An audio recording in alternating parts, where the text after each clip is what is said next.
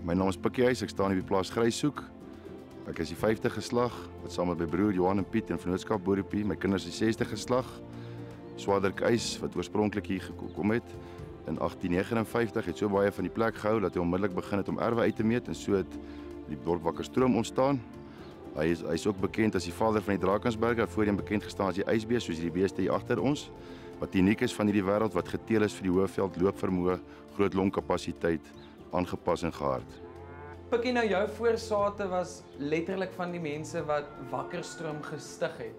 Jy het tog seker baie stories en familiestaaltjies, deel met my een. Ja Willem, nee, ja, daar's daar's baie staaltjies in die omgewing. Die een wat vir my uitstaan is wat my tannie my vertel het van 'n uh, Paul Kreer wat vir Swadrik Eis wat nou my oergrootjie is hier besoek het op die plaas en toe daardeur Wakkerstroom in die vlei uh Swadrik moes sy perde waar stuur om vir Paul Kreer te gaan haal en die opdrag wat vir die ou wat die perd die perdkar bestuur het was om te jag deur die modder en toe Paul Kreer op die plaas kom toe het hy gesê daar moet onmiddellik 'n pad daar gebou word. En die pad en die pad is toe gebou. Wow. Ja. Maar dit moet tog lekker wees om in hierdie dorp groot te word met met al hierdie familiegeskiedenis. Willem nee, dit was absoluut wonderlik geweest. Dis 'n ongelooflike omgewing, die natuur skoon, die mense vredelewend. Daar's liefde tussen mekaar. Ja, en uh absoluut uh, daai woorde kan dit nie beskryf nie. Die, die lewenskwaliteit is net ongelooflik. En julle betrokkeheid as as boere in die gemeenskap, wat doen julle alles vir Wakkerstroom? Willem, ek sal sê die die die die die omgewing in die gemeenskap draai maar meeste van die tyd om die boere. Dis maar wat die eerste mense wat hier was en uh uh hulle is oral betrokke by die ouer huise, by die kinderhuise, fondsinsamelings. Nee, dis 'n is geweldige geweldige belangrike raad in die in die in die gemeenskap. Pikkie, wat sê jy sê maak Afrikaans in Wakkerstroom onmisbaar?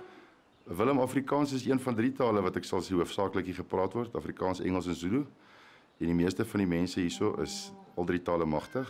Julle almal kom goed oor die weg. Almal kom goed oor die weg hierso. Nou buite die koeie wat saam met mense praat en die sterre wat jy so sien in die aand, wat maak jou die liefste vir Wakkerstroom? Willem verseker die natuur skoon. Ongelooflike natuur skoon. Jy kan net hier afgaan met die berge en dan val jy honderde kilometer uh, af seevlak toe. Verskeie verskeie verskeie soorte habitatte, diere, die uh, plaaslewe, natuur skoon soos jy self kan sien. Ongelooflik. En die grootste wanpersepsie wat daar al ek kom ook van 'n klein dorpie af. Die grootste wanpersepsie is altyd mense dink is vervelig op so 'n klein dorpie. Wat sou jy sê doen mense vir pret hierso?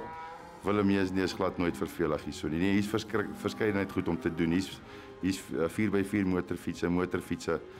Ehm um, dis nou natuur 4x4 ritte, visvang, uh wild kyk. Dis te dis te veel om te noem.